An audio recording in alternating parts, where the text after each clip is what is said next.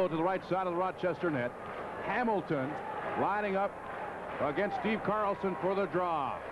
Now, Wally Weir would like to entice Jim Hofford into a little dance. Obviously, a little philosophy of Baltimore skipjacks hockey during these closing minutes. They'd obviously like to have a man advantage there, maybe. I think Jim Hofford's prepared to dance, too. Well, Hop out got uh, some patented shoulder pads. See several linebackers wearing football. There are extra pads up there to protect Yeah, Steve shoulder. Dykstra was talking about that. They are very similar to football shoulder pads, and guys have had a little trouble adjusting to them. A little bit heavier. Well, now we'll have a break of the face-off formation. Gary Rissling along with Wally Weir upsetting Don Lever and Jim Hofford. Now the draw goes. Scramble in front. A drive into traffic blocked by the Amerks. Rebound controlled by Rolston. All the way back to Belanger who's working the left point. Time ticking down now. Here comes the skipjacks with Steve Carlson intercepting a loose puck in front of the Amerks net. Now we've got quite a pile up in front of the Amerks net. that's the it. sticks are going crazy. And Jeff Hamilton is hurt down in front. He was hit by that shot. Well, the Baltimore physical tactics are in effect here at the War Memorial with 36 seconds left. A pile on it. Looks like a third and one situation. Who's in the net with Cloutier? I worry about It's Cloutier Gary down in Rissling. Gary Rissling on top of Cloutier. Well, get him out of there.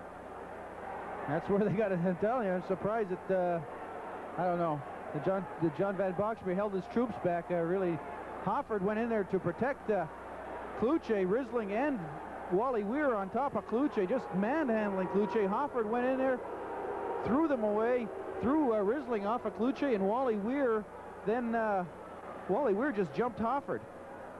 Now Wally Weir would like to have a piece of somebody. He's got the fists warmed Johnny up, Lever. and he's starting to And way it. back behind the goal, gentlemen, Jeff Hamilton is in pain. You see him right there behind Jacques Cloutier? I want to tell you something. Jeff Hamilton did one heck of a job because he went down after he took the shot on the foot and limped and crawled his way to make a defensive play. And then when everything broke out, Jeff was just trying to crawl on the ice to get into get into the action. He's hurt and he doesn't want to come off the ice. 36 seconds left to play in the regulation. 4-3 Rochester, and now some more pushing and shoving erupting. John Gallipo, one of the linesmen, trying to restrain Big Wally Weir. Now some action going on with Gary Rissling behind the Amerks net now. He's being thrown off the ice surface.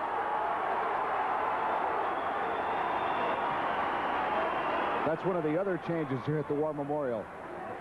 That uh, gate in the back now, the guys used to have to walk past the Amerks dressing room, and that created some problems for a number of years. Now they can take them out the back there. I guess it just opened. They're not chucking them. Well, Rissling and Hofford still having a few words. Murphy, the linesman, trying to hold off Hofford. John Van Boxmeer having his thoughts with Gary Rissling.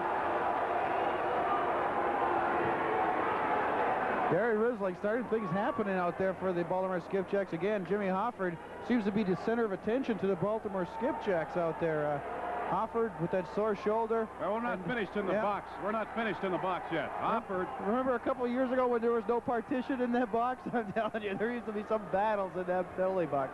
Finally, they came out, they put that partition in there. I don't know why they're both going into the penalty box. Uh, even if it is overtime, they could come back into the game. Uh, the, the referee should just send them both to the dressing rooms. Those linesmen have a tough job. That Dan Murphy, who was it that he threw down the other night? Was it Joe Reekie? Joe Reekie. Joe Reek, he manhandled him.